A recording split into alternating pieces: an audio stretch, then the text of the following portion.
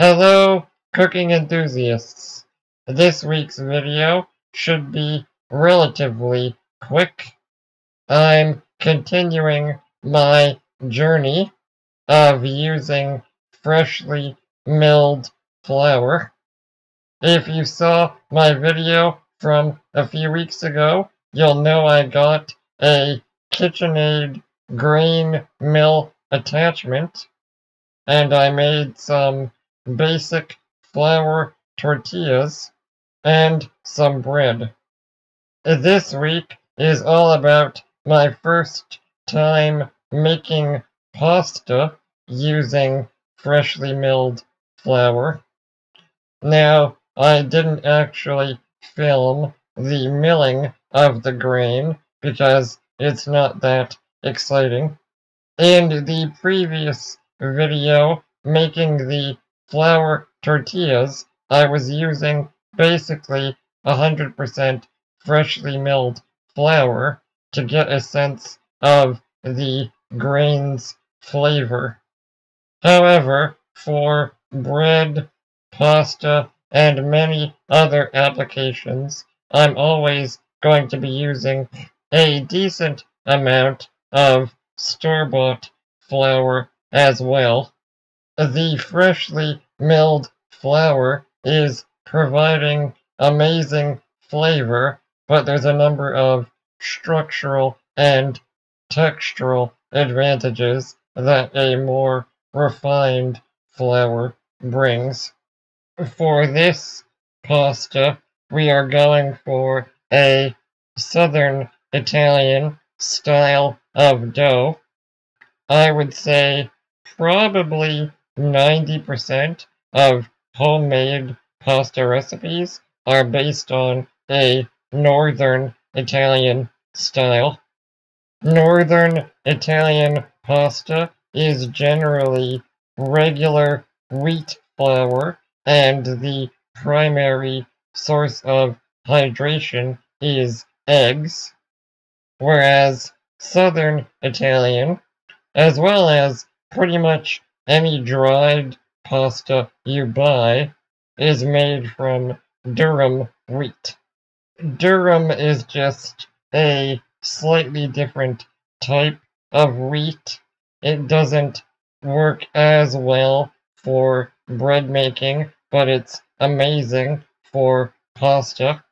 It's generally made with just this flour and water, and honestly, 80% of the time, I prefer it to egg-based pasta, even when I am making it myself. Now, one more complication is that the more common form of durum in most stores is semolina, which is a very coarse, unrefined version of durum flour. For this, I'm using a actually much more finely milled and refined version of durum flour, which is a little harder to find, but something I highly recommend.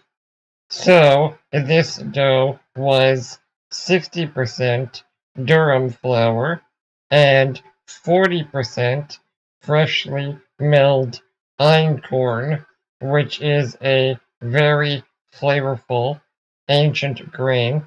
Specifically, it was 30% milled and then sifted einkorn, and 10% whole einkorn that we first lightly toasted in a frying pan.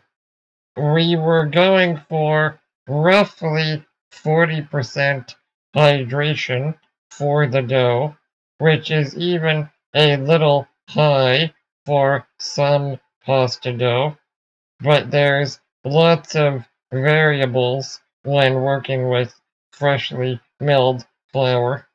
We were having some trouble getting the dough to really come together and become a cohesive dough ball. So we decided to vacuum seal it and leave it overnight. Even if you were going to work with it same day, vacuum sealing is a really good way to accelerate hydration of the dough. Now, when it came time to actually rolling out the pasta dough the next day, we ran into some issues. Fortunately, these are very similar issues to when I was making homemade ramen dough, so I knew exactly how to deal with it. For the pasta roller I am using, the widest setting really isn't that wide. So if you have a dough that's a bit tough or behaving dry, the first time you try to push a piece through, it can essentially completely fall apart. Now, obviously, this result is not ideal, and it does take a little bit of time to fix, but it's not an insurmountable problem to fix. There's a number of reasons this could happen. Again, primarily a dough behaving too dry or generally being tough. In previous attempts at ramen dough, the issue is that it's almost impossible to hand roll the dough thin enough to properly fit into the machine.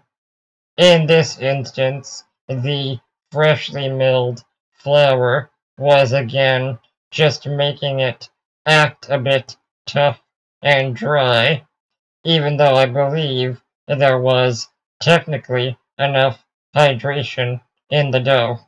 Really, the only solution is to start taking some of the bigger pieces that came out when the dough fell apart and start feeding them in the machine together two at a time.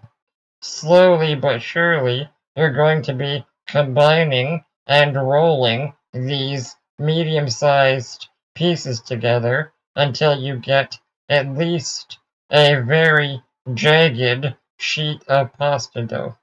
At this point, you can start layering on multiple little pieces to continue bringing the dough back together. And remember, this is all on the largest setting, but eventually you will gather all of the dough you are currently working with back into one piece.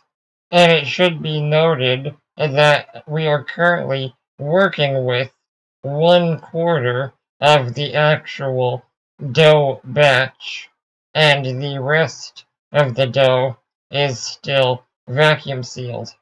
This is approximately 220 grams of dough, and it will become two portions of pasta. Once we had the dough all together, it was time to develop some of the structure and get the sheet to its final thickness. This is the lamination or the folding and rolling of the pasta at the same thickness. And once again, I am employing some techniques that I tend to use when making ramen noodles. All of the techniques I'm about to explain are to maximize the gluten formation. With ramen dough, I'm doing that because I want the noodles to be chewy. With this pasta dough, I'm maximizing gluten structure because I know there's a number of factors that are inhibiting gluten formation. From what I understand, einkorn in general is a lower gluten flour, and the 10% we left whole contains some bran, which also interferes with the structure. Basically, the key thing is that we are always rolling the sheet of dough in the same direction, whereas many other types of pasta you fold the dough and then you rotate it before you laminate. Now, because we aren't rotating the piece of dough, it will sometimes get too wide to comfortably fit into the pasta roller. In which case, you need to do what I call a hot dog fold, where you fold it to become narrower. I always like to do at least a little lamination with the dough all as one piece, but then you can quickly cut it into the individual portions, which in this case was two sheets of pasta. You try to do the same number of lamination steps to each piece of pasta dough using your spritz bottle of water as needed. Once you work it a little bit on the largest and second to largest setting, the pieces of dough should begin to look nice and smooth and even. You can then start to roll the pasta thinner and thinner. For this first batch, we went to number four of nine, so moderately thick. And then this eventually became basically spaghetti. We also rolled some of the rest of the dough even thinner, all the way to number six on the settings, and this became fettuccine.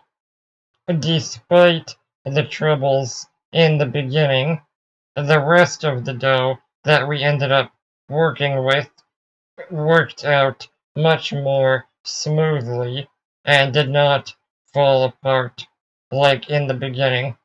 But that is pretty much it for this week's video. Stay tuned for next week where I will be cooking this pasta and using it in two different recipes.